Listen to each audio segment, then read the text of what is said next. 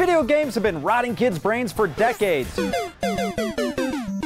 But there's a new breed of active, hands-on tech games that just might make your brain better. We've got three. For starters, there's Doodlematic. Doodlematic turns screen time into creative time. Doodlematic is a super basic precursor to coding. All you need to know is that black is for immovable walls and floors and ramps, and you control whatever you draw in green. You can move the purple stuff, you eat the blue stuff, and red can kill you. Use those colors to draw a scenario, and then Use the Doodlematic app to take a picture of your drawing. Then watch your game come to life. Since it's activated by colors, anything using black, green, blue, purple, and red on a white background can work, even a cake.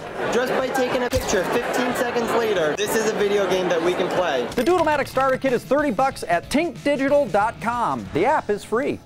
Okay, if Doodlematic is a precursor to the logic of coding, the next step is another fun toy, the Itty Bitty Buggy. This cute little bot can take the form of a buggy, a dodo bird, a ladybug, an alien, and a sloth. The buggy will follow lines you draw on a map. You can code it to read colors, to play musical notes, and control it with your voice or through Bluetooth on Apple or Android. And you can progress to drag and drop coding using the Scratch interface. We should change the first one lower. The children are engaged 100% of the time. It has been the most invigorating experience that I've had as an educator.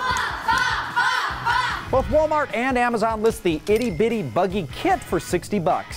Finally, if you love video games and you love the Rubik's Cube, you'll almost certainly love the Wow Cube. You play by twisting, shaking, and tilting. Everybody likes to play, especially kids. Wow Cube's Maxime Phelan says it's like a 2x2 Rubik's Cube, except it's Covered with 24 high-resolution screens. You move your game pieces by tilting, and you can bend around corners of the cube, so. You have to always think in three dimensions. And they have a public application programming interface, or Open API. So everyone can make their software and games and upload to our store. Which means you can develop new games for the platform. And you've never played Pac-Man quite like this. Give them the toy that will literally make them smarter. You can purchase the developer's version of the WoW Cube for 300 bones at wowcube.com. Games that will wear out your brain, or what's the deal?